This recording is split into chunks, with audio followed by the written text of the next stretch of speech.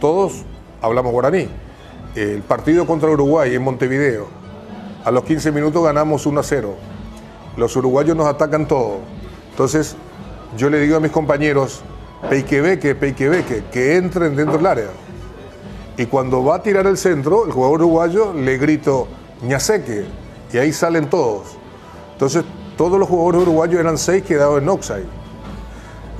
Y, y todos se miraban así asombrados.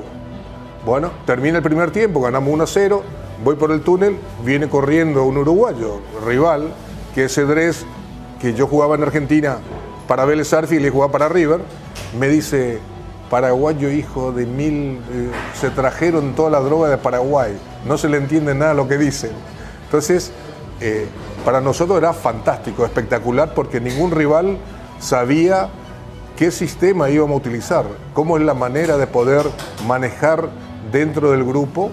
Eh, el guaraní nos ha hecho ganar muchos partidos. En un mundial, para mí es el momento más grato, es cuando empiezan a entonar el himno nacional de cada país.